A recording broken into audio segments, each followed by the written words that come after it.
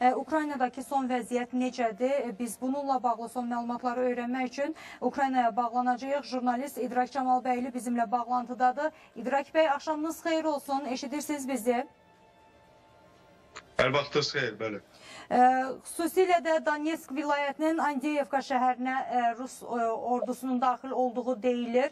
E, Vəziyyət deyildiyi qədər də kritikdirmi? Nə baş verir? Buyurun sizdən eşidək. Mən hal-hazırda Xarkovdayam.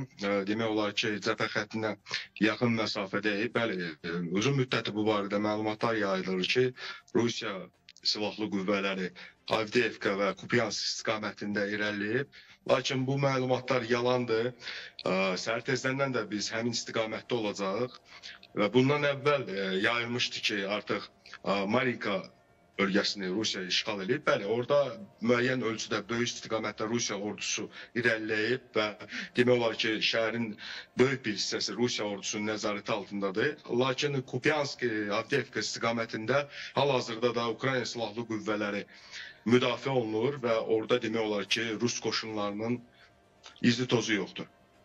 Ha, belə çıxır ki, o zaman informasiya müharibəsində e, Rusiya bu dəfə qalib gəlib. Çünki çox ciddi bir şəkildə bugün e, müzakirə mövzusu oldu bu mövzu. Andeyevkaya daxil olması məsələsi. Hətta e, qeyd edim ki, mənim qarşıma bir video çıxdı. Orada rusların canlı yayım etdikləri də var idi. Rus əskərlərinin həmin ərazidən canlı yayım etdikləri də e, görüntülərdə var idi. E, bunların hamısı dezinformasiyadır deməli. Bəli, Rusiya, Rusiya, Rusiya əsasən informasiya müharibəsində aktivdir və e, bir çox təxribatçı fake məlumatlar yayır. E, Hal-hazırda e, Ukrayna ordusu, Ukrayna tərəfi bir müddət əvvəl bu müharibədə aktiv fəaliyyətə başlayıb. Rusiya həmişə üstün olub bu müharibədə. Çünki kütləvi informasiya vasitələri var və onların qərb mətbuatına çıxışları var ki, müəyyən e, dezinformasiyalar yayırlar. Bundan əvvəl də bildiyiniz kimi Lisansk istiqamətində, bundan əvvəl də həmin istiqamətdə e, bazarın vurulması və daha doğrusu bu dünən e, bu gün səhər saatlarında Lisanskda çörək zavodunun vurulması, bunlar hamısı Rusiya tərəfinin təxribatıdır. Rusiya tərəfi bütün bu hadisələri törə deməklə Ukrayna tərəfinin bütün bu ithamları Ukrayna tərəfinin üstünə atmaq istəyir ki, bu da onların apardığı informasiya müharibəsidir. İdrak bizdə bir məlumat da var ki, Zelenski ilə Zalujna arasında düzdür. Bu məlumatlar daha əvvəl də var idi ki, onlar arasında bir fikir yoxdur. Yəni müxtəlif fikirlər var ki, onlar heç cür razılığa gələ bilmirlər. İndi isə İl-76 təyyarəsinin sanki Zalujna tərəfindən, Zalujnanın əmri ilə vurulduğu deyilir. Bu iddialar nə dərəcədə doğrudur? Hətta belə bir iddia da səsləndirilir ki, Zelenski öz məsuliyyətini çiynindən atmaq üçün Zalujnanı qurban verir.